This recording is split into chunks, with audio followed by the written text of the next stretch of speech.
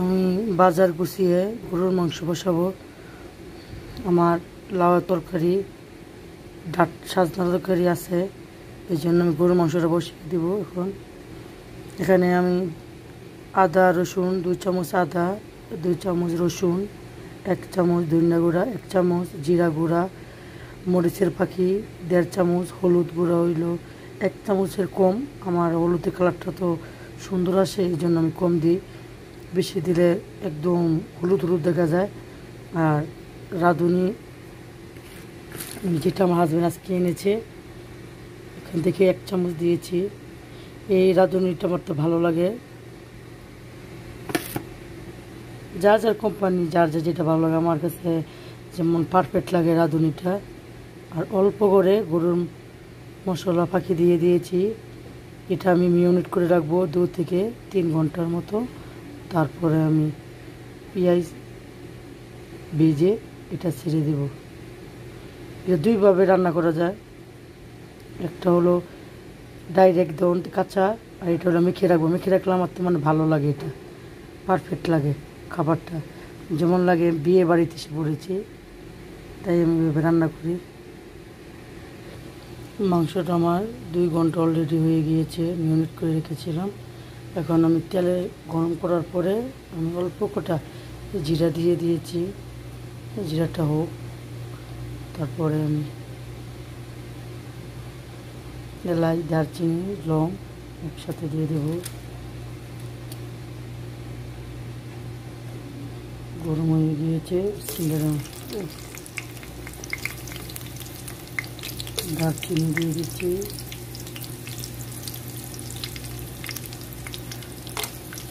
লংটা চারটা দিয়েছি।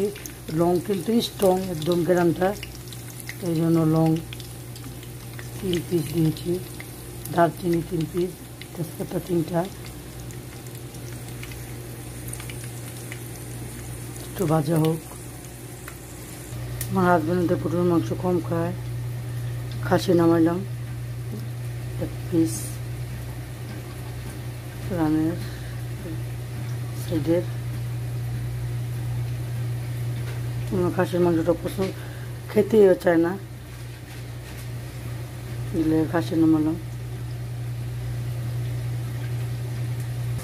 এদিকে আমার মাংসের জন্য পেঁয়াজটা ভাজা হয়ে যাচ্ছে। পেঁয়াজটা ভাজা হয়ে গেলে মাংসটা ঢেলে দেব। আরও ভাজা হবে পেঁয়াজটা একটা গুঁটো আস্তা জিরে দিয়ে দিই।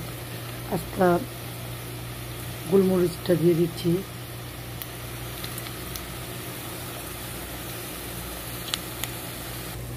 পেস্টটা ভাজা হয়ে গিয়েছে আমি মাংসটা ঢেলে দেব।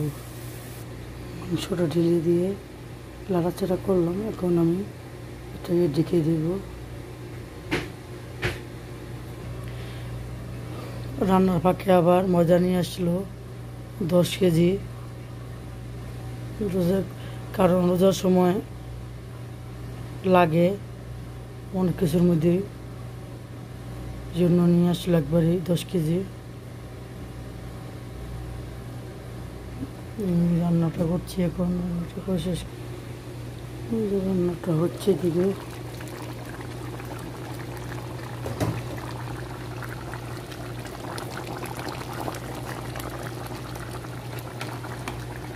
সুন্দর একটা স্মেল আসতেছে কষানোর মধ্যে।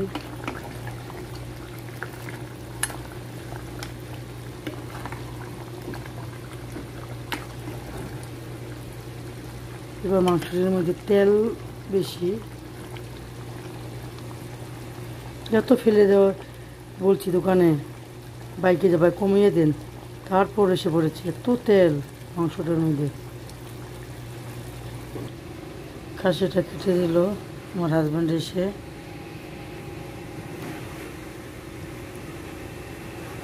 এদিকে আমার মাংসটা কষানো হচ্ছে কোনো হয়নি। কষানোর পরে আলু দিব।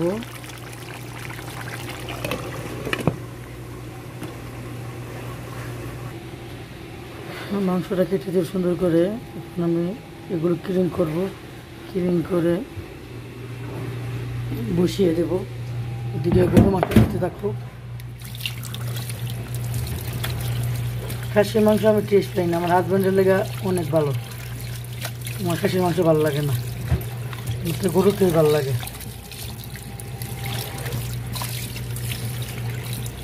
বড় বড় করে কাটতে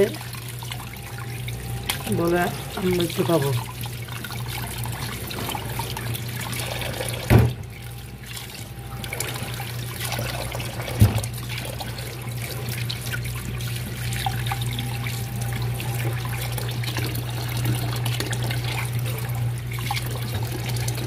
গাছটা আমি ক্লিন করে নিই। আমার মাংসটা কষানো হয়েছে।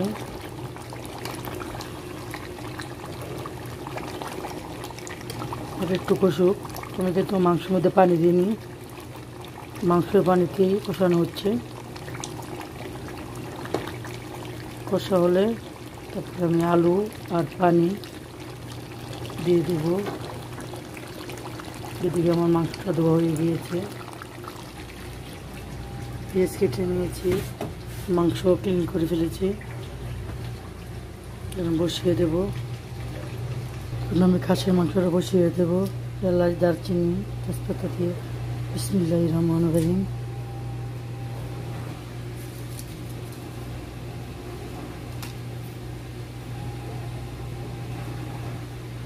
একটু ভাজা হোক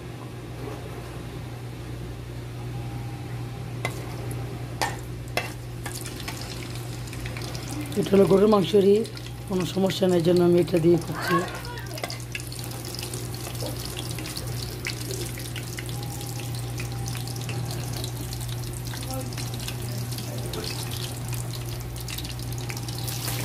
দিয়ে দিচ্ছি।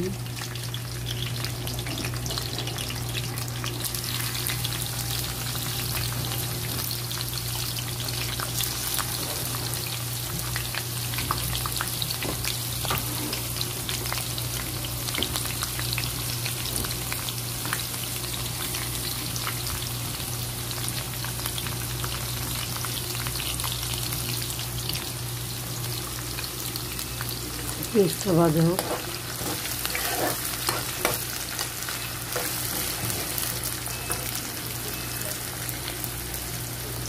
খাসি মাংসের মধ্যে টমেটো দেবো টমেটোটা কেটে নিই টমেটোগুলো ক্লিন করে নিই সবগুলো দেবো না অবশ্য একটু একটা বড় চেয়ে দেবো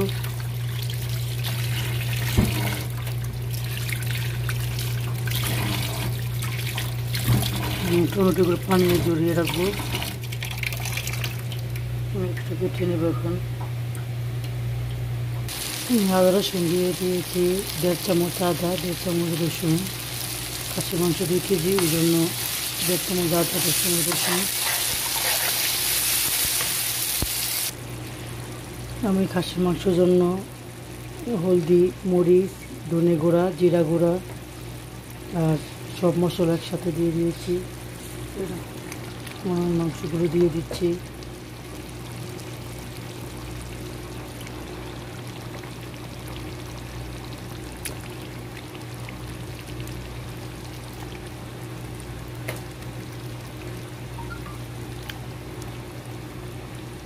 নাড়া দিয়ে নিব।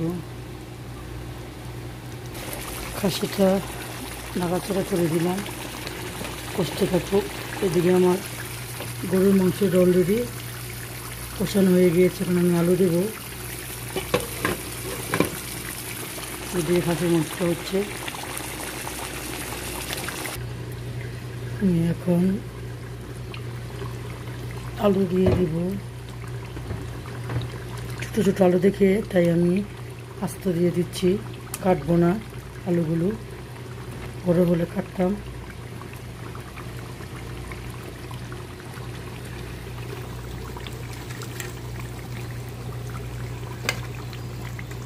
এখন আমি পাঁচ থেকে সাত মিনিটের মতন আলুগুলোও মাংসর সাথে ভালোভাবে কষিয়ে নেব। পাঁচ থেকে সাত মিনিটের মতো। আমার তরকারিটা হয়ে গিয়েছে। হাবিব, ভাই, তুমি বলছো গিলা। গিলা তো হয় মুরগি হ্যাঁ আর গরুরটা বলে ফ্যাপসা, না হয় গুড়দা, না হয় কলজা। আমি যেটা জানি। নাও রেসিপিটা দিয়ে দিয়েছি। দেখো, কেমন হয়েছে। তুমি বলছো গরুর গিলা, কিন্তু গরুর গিলা হয় না ভাই। হাবিব গরুর ফ্যাপসা হয় গুদ্দা হয়, কুলজা হয়। বটের মানে উজুরি বা বট, যে কোনো একটা বলে। নাও, আমি রান্না করে দিয়েছি ইনশাল্লাহ রেসিপিটা আজকে মনে হয় আসবে। আর এদিকে আমার ডাউলটাও মুগ ডাউল, এটা মুসুরি ডাউল না, মুগ ডাউলের এটা এরকমই হবে। বেশি পাতলা হলে ভালো লাগবে না। আমি মুগ ডাউল রান্না করি, এভাবেই রান্না করি। আরেকটা আছে, আরেকটু গাদা গাদা। এখন আমি পেঁয়াজ দিয়ে বাগার দেব। এখন আমি পেঁয়াজটা দিয়ে দিব এইটা বাগা দেওয়ার জন্য। দেখুন, তেল সিট ডাউল সিটে মাংসরই কী অবস্থা হয়েছে? চুলো আর চুলো থাকে না।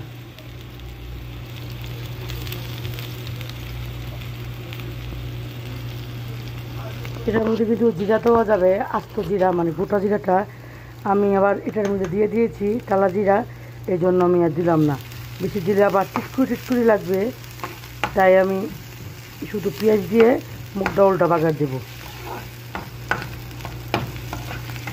এটার মধ্যে রসুন দেওয়া যাবে না কিন্তু মুগ ডাউলে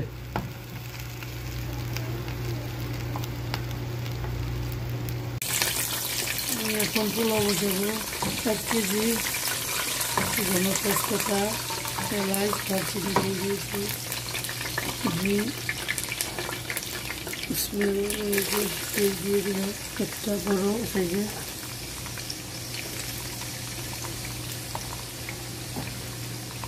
পেঁয়াজটা ভাজা হোক আমার চালটা ভাজা হয়ে গিয়েছে চালটা ভালো হয়ে গিয়েছে এখন আমি পানি দিয়ে দেবো গরম পানি।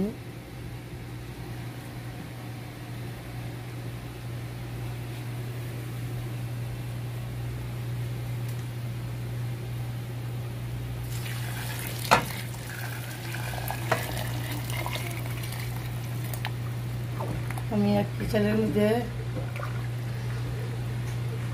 এটা এটা দিয়ে ছয় কাপ পানি দিয়েছি। যদি চাউলটা পুরানো হয়, তাহলে সাতটা লাগবে। আমি এটা বলে দিলাম। যার যার মাপের যেই কাপ দিয়ে চাউল দেওয়া হবে, ওটা দিয়েই আপনারা পানি দিবেন। তাহলে যে পোলাওটা হয়ে গিয়েছে। এই দেখুন। একটা মিষ্টি হয়ে গিয়েছে, আমি আবার একটু দুধ দিয়ে দিচ্ছিলাম। ওই দেখুন কি জর্জরা এটা হলো আলু বোকরা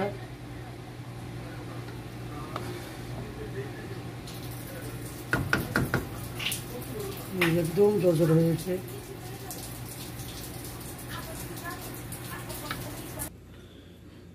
আজকে সবাই একসাথে খাওয়া দাওয়া হবে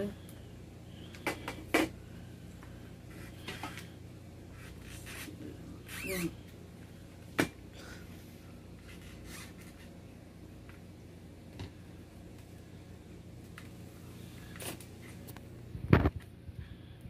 কেমন ভালো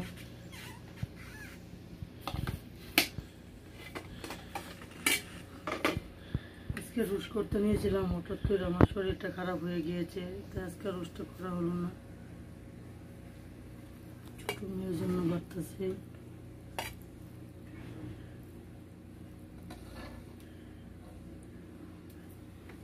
স্যালাডটা বানায় বানানো হইল গুঁড়া দুধ, টক দই শসা টমেটো পেঁয়াজ। এটা আপনারা ট্রাই করে দেখবেন, এটা অনেক টেস্ট লাগে। ভেবে যারা খেয়েছেন তো খেয়েছেনই। আর যারা খাননি নতুন সিস্টেমে এটা আমরা খাই, খুবই ভালো লাগে।